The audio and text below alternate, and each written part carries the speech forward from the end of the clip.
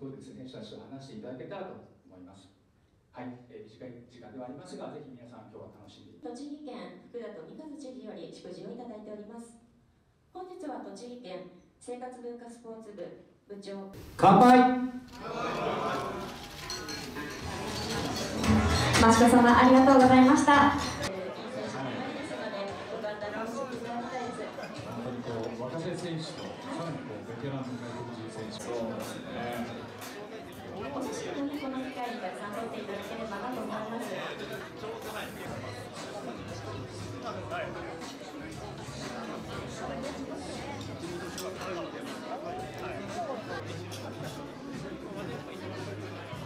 ブラウから来たのはい。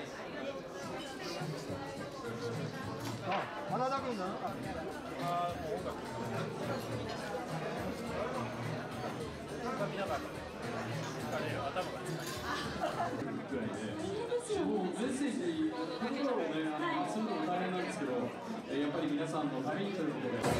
で。どうですか？いや、今日はキャプテンが不在なんで、あの緊張します。なんかすごい結構いっぱい人来てますけどそうですね毎回。そうですね去年も初めてここ来てすごいもうこんなにファンがいるチームなんだったらびっくりしましたけれども今年もあの本当にたくさん来ていただいてまあでも本当に頑張らないとなっていうのが、はい、気が引き締まります。どんな声かけてもらってます？そうですね、もう今年なんかまあ特にやっぱ質問が多いのは、海外のコロンビアから選手入ったということで、え言葉とかどうしてるのとか、はい、そういうことをよく聞かれるんですけれども、自分も今日今日コロンビアの選手は今日会ったばっかりなんで、はい、今、話しながらコミュニケーションを深めていると楽しんでください。はい、ありがとうございます。まずは本当に雰囲気が良かったな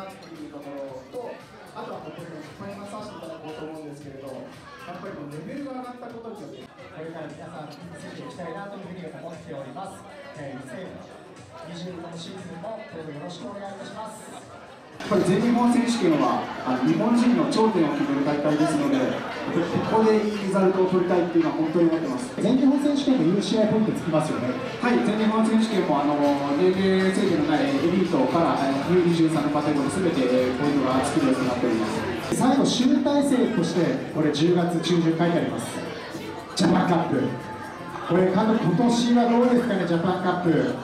そうですね、ジャパンカップは本当にも大切なレースで、もう1年で一番大切なレースと言っても過言ではないですよね。そうですね、はい、でそのレースで、やっぱりもう世界のトップが、本当にもうツール・フランスとか、もう世界のトップのレースで活躍するチームが来るんですけれども、その中でトップ10を取れれば、本当にも嬉しいなと思っております。はいということで、あの最後に監督の方から今年の目標を皆さんにずばりお伝えいただけたらなと思います。はい、えー、今シーズンですね、宇都宮ブリッツまた大きくメンバーが変わりました。もう今先ほど説明させてご説明させていただきました通り、たくさんレースがありまして、もう上げきればもうキリがないぐらいに勝ちたいレースがたくさんあります。えそんな中でも、まずは来週のモーターハンダロードレース、宇都宮京原クリテリウムですね、チーム一丸となって戦ってまいります。えー、その他の残すところのシーズンのレースも全力でなって戦ってまいります。えー、今シーズンも応援よろしくお願いします。はい、ありがとうございます。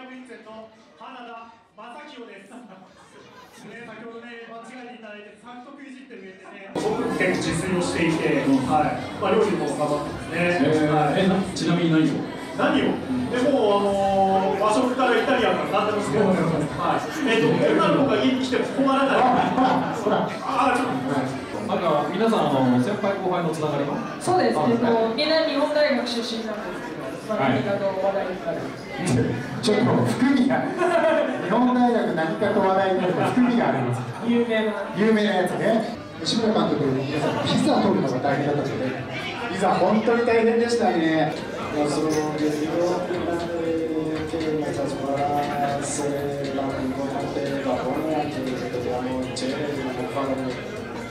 tanti cosa buona perché siamo un buon gruppo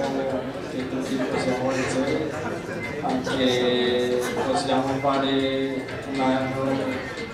più bello di vincere tanti, tanti gare. Anche il mio personale vincere una tappa e, e seguire questa squadra tanti anni. あのはいえーと、同じようにまず与えられた役割をしっかり果たしていきたいということを、えー、申しておりました。そこで、えーえー、もうこのチームは大きいチームだし日本の中で強いチームだからまずはこのチームのチームがレースの中心となって、え、勝っていく勝つっていうことを、えー、大事にしたいって言ってました、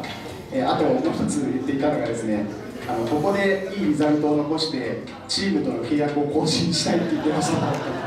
えー、大きく選手が入れ替わりました、えー、昨年、まあ、馴染みのあった選手たちがですね、えー、5人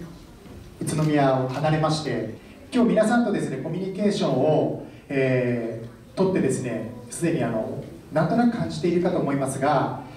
新しいメンバーも宇都宮ブリッツェイズムをしっかり持ってます。そして宇都宮を愛してこれから皆さんの気持ちを胸に、えー、日本とそしてアジアで活動してまいります。この宇都宮という名前がアジアでナンバーワンになってですねそして10月のジャパンカップで、え、世界を受け入れてそしてそこでまた宇都宮が頂点になる。こういうストーリーをですね皆さんと一緒に作っていきたいと思いますので、えー、より熱くより温かく、えー、皆さんの応援をこれからも受けて頑張っていきたいと思います、えー、今日はあのー宇都宮ブリッツェのシーズンエンドあシーズンエンドです終わっちゃい。ましたねちょっとごめんなさいね。ブリッツェ